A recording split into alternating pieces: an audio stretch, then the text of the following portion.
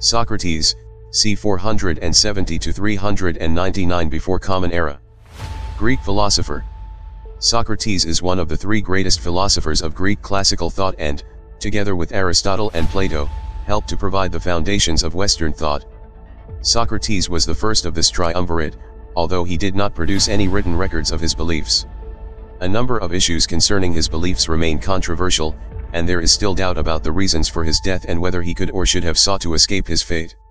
Socrates was born in Athens a decade after the Battle of Salamis signaled the end of the Persian attempts to conquer Greece. Consequently, he was born into a society that was coming to terms with its physical independence and matching that with intellectual independence, although that had been expressed by what are now called the pre-Socratics in terms mostly of vague metaphysics and religious speculation. The main event during his lifetime was the Peloponnesian War fought between Athens and Sparta, which was also seen as a struggle between personal independence and the militarization of society. The ultimate defeat of militarism did not occur until the long and perilously difficult years of warfare had passed, with the coarsening of public life and morals that accompanied the war. Socrates was at the forefront of public life in Athens. Xenophon describes him as being part of the circle of Pericles and the other prominent leaders of Athenian society. It is also possible that he worked for a period with Archelaus, a pupil of Anaxagoras, who is reputed to be the first Athenian philosopher. He also may have been familiar with the subjects of geometry and astronomy. Notwithstanding these advantages in society, it is believed that the later part of his life was lived in poverty, as he is so depicted in a play by Aristophanes. Socrates spent most of his working life teaching and practicing philosophy, and he has been depicted as a man so captured by the world of the mind that he could be found unmoving like a statue, completely wrapped in thought. He married Xanthippe comparatively late in his life and had three children with her, who survived him when he was arrested by the state on charges of corrupting the youth of Athens and not worshipping the gods of the city. He was brought to trial and condemned to death. Socrates chose to swallow the hemlock that killed him even though it is likely that he could have escaped from confinement had he so desired. However, Socrates believed it was his duty to continue to serve the state and so acquiesced in the process. Socratic beliefs. It is from Aristotle and, especially, Plato that understanding of Socrates' beliefs may be found. Aristotle's main commentary is contained in Metaphysics, while Plato created a number of dialogues in which Socrates was supposed to have been a participant, notably in Crito and Phaedo, while his apology of Socrates claims to be a set of speeches the philosopher made at his trial in making a case for his vindication. Both Aristotle and Plato report that one of his main philosophical methods is the use of syllogism in the effort to ascertain what a thing is. Socrates was concerned with the application of reason in the search for the true nature of humanity and of society, which was quite a different body of knowledge from that which occupied pre-Socratic philosophy. The syllogism is a technique that requires the pupil to question personal beliefs through answering the questions of the teacher. The pupil must first state a position in respect of some ethical concern, which is one that cannot be settled by an immediate objective test and is subjective. Socrates then poses supplementary questions that the pupil is required to answer by either an affirmative or a negative response. Socrates guides the dialogue until the pupil is obliged to come to the opposite of his or her original statement. Socrates uses this technique both as a philosophical tool, with which he develops knowledge by adding premises to those already existing and thereby developing the argument, while also claiming that he had no real knowledge of any sort, which could be demonstrated by the same method. This technique can be used by the skilled questioner to demonstrate the opposite of any moral position and comes close to the accusation made against the early sophists that they would use debating technique merely to advance their own interests rather than in the pursuit of truth. Socrates tried to bypass this accusation by claiming that he never taught anybody anything and that his technique merely pursued the answers to genuine questions, and that it was beyond his control, or even interest, what those answers ultimately turned out to be. Socrates left himself open to accusations of impropriety by this method, and he was condemned by a number of people who supported the concept of immutable truths or moral guidelines for a variety of reasons.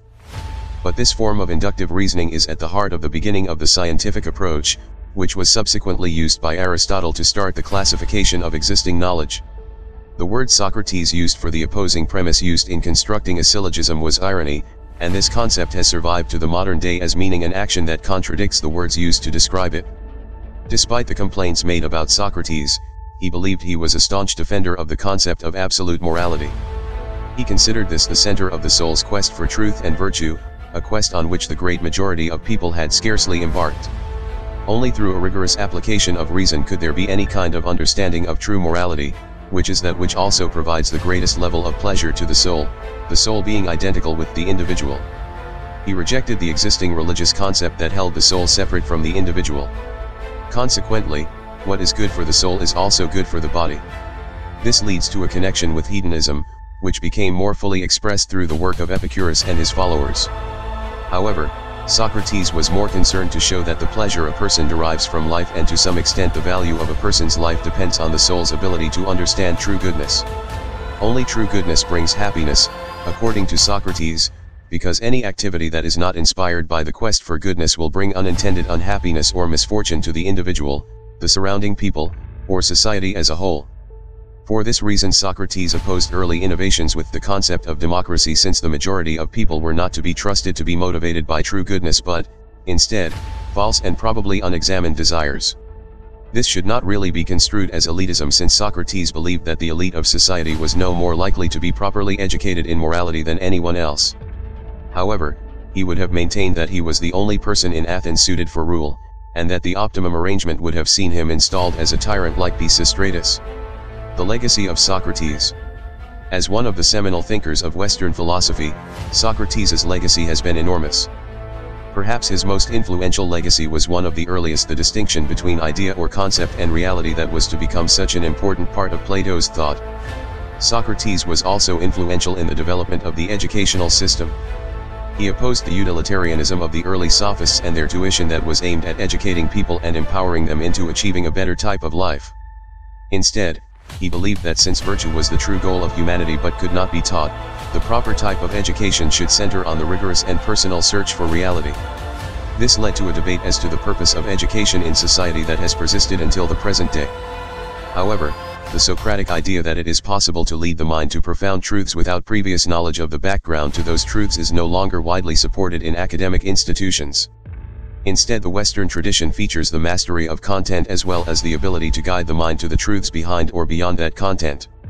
Socrates has also been considered a founding father of science and of agnosticism, although these attributions depend on contested ideas of exactly what he originally said and believed.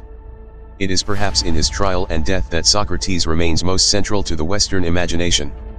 Some have conflated the charges of corrupting the youth of Athens with homosexual activities with his followers, which would have been a common enough activity at the time. He has been viewed as both foolish pederast and heroic supporter of the truth in an age of religious persecution and the suppression of freedom of speech. Existing Athenian popular sources referring to Socrates are mostly those found in satirical plays in which he is lumped together with sophists as a kind of disreputable wordsmith with questionable hygiene habits. This representation clashes noticeably with the striking and compelling personality of Plato's descriptions. His legendary status as defender of personal liberty has been buttressed by the notion that he would have been able to escape from confinement in Athens had he so desired. That he chose to stay and administer to himself the fatal poison renders him something of a martyr. According to Plato's account, at the moment of his death, Socrates was concerned with ensuring that all his remaining domestic duties and chores were complete.